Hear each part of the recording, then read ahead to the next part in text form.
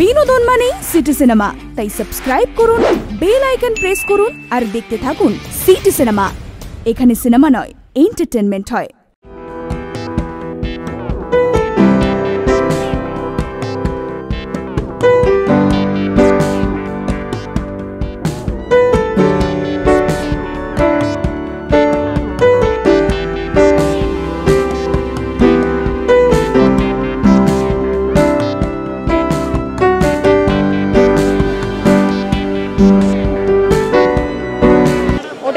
ভালো প্যান্ডেমিকের জন্য যে এই যে আটকা পড়েছিলাম, আর আমরা তো একটু বাঙালি এমনি একটু ওই ঝুঁকে আছি, আমরা একটু ভালোবাসি মানুষের সাথে দেখা হোক, চেনা মানুষের সাথে, নিজেদের লোকের সাথে।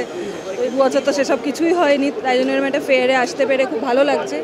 আর আমার মা খুব ফার্নিচার রিঅ্যারেঞ্জ করতে থাকেন প্রত্যেক বছর একটু এদিক ওদিক। তাই জন্য মা সবসময় খোঁজ খবর রাখেন। আর আমাকে গিয়ে এখন মাকে ইনফরমেশন দিতে হবে, কোন কোন স্টলে কী কী ভালো জিনিস আছে। সো শিল কাম ভালো তো, এদের তো এনাদের তো লোগোই কি স্লোগানই হচ্ছে? Bigger better and golder right তো Dev already completed around thirty years and well is there is a very is almost like family আমাদের প্রফেশনের সাথে উনি যুক্ত।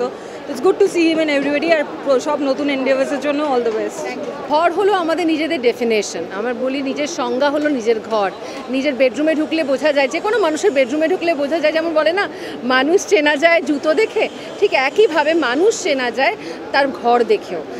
তাই আমি বলব অ্যাবিডের এই যে উদ্যোগ এত দুটো বছর হয়নি প্যান্ডেমিকের জন্য এবং এখন একটা হিউজ স্কেলে হচ্ছে। একশো তিরিশটার ওপরে স্টল একটা বাইকের আলাদা এক্সিবিশন রয়েছে ওয়ার্কশপস হচ্ছে, একটা হিউজ ব্যাপার তৈরি করেছে। আমার মনে এটা দরকার ছিল। কলকাতার বুকে এ ধরনের এ ধরনের এক্সিবিশন এই মুহূর্তে খুব দরকার। কলকাতা এক্সপ্যান্ড করা দরকার, কারণ কলকাতা হলো ইস্টার্ন রিজিয়নের মেন জায়গা। এবং আমার মনে হয় ইস্টার্ন রিজিয়নে এটা হলো সব থেকে বড় একটা আমার মনে হয় একটা মেলা হতে চলেছে। এবং এই, এটা আরও এগিয়ে যাবে এটা আমার মনে হয়েছে এখানে এসে। কারণ যেরকম ইউনিটি আমি প্রত্যেকের মধ্যে দেখলাম, যে ধরনের কন্টেন্টের প্রত্যেকের মধ্যে দেখলাম যে উদ্যোগ নিয়ে এরা লড়ছে, এর ভালো হবেই। গ্রিনারিজ মানে আমার মনে হয় প্লান্ট এমন একটা জিনিস এটাকে কোথাও গিয়ে আমাদের, অনেক সময় আমাদের মনগুলো তো কখনো সজীব হয়, কখনো নির্জীব হয়। ওই প্লান্ট এমন একটা জিনিস, গাছপালা, ওটা কোথাও আমাদের বাঁচিয়ে রাখে। কোথাও আমাদের সতেজ করে রাখে। ওদের প্রাণ দেখলে আমাদের প্রাণ ফিরে আসে। এটা একেবারেই আমার নিজস্ব ভাবনাধারা। যেমন সেই গাছে যখন বৃষ্টির জল পড়ে মনে হয় আমার শরীরে জল পড়ল এবং আমরা কোথাও প্রাণ ফিরে পেলাম। এই দুদিন ধরে বৃষ্টি হচ্ছে, সেটা সেই আমেজ নিয়েই বললাম এই কথাটা। আমার মনে হয় আমার বাড়ি যদি সাজাতে হয়, একটা কর্নারে প্লান্টস থাকবেই। It was a very big challenge এরকম একটা প্যান্ডেমিকের পরে যেখানে ফিনান্সিয়াল ক্রাইসিস ছিল সেখানে এতগুলো, শুধু তো মাত্র যে কলকাতার পার্টিসিপেট তা না, সারা ভারতবর্ষের বেস্ট বেস্ট ব্র্যান্ডরা পার্টিসিপেট করেছে।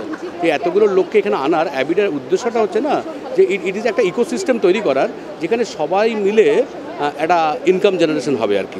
ভাবে অ্যাবিদ এগিয়ে চলেছে, যে পশ্চিমবঙ্গ বলে নয়, এমন দিন আসবে ভারতবর্ষের, মুম্বাই বলো, বা ভারতবর্ষের গুজরাট বলো, ভারতবর্ষের বেনারস বলো, কোনোটাই সাজাবার জন্যে অ্যাবিদ ছাড়া কিছু থাকবে না। কারণ অ্যাবিদ নতুন নতুন ইনভেনশন করছে এবং বিশেষভাবে ওরা যেভাবে ডিজিটাল ডেভেলপ করছে, তাতে আই এম রিয়েলি সারপ্রাইজড যে ছোট্ট জায়গার মধ্যে মানুষ এত সুন্দর বাড়ি বাড়ি ফেলবে, এখন এই বড় বড় গোদা গোদা ঘর লাগবে না। টলিউডের latest update gossip and entertainment পেতে সাবস্ক্রাইব করুন শুধুমাত্র সিটি সিনেমা আর ফলো করুন সিটি সিনেমার Instagram Facebook Twitter and ShareChat page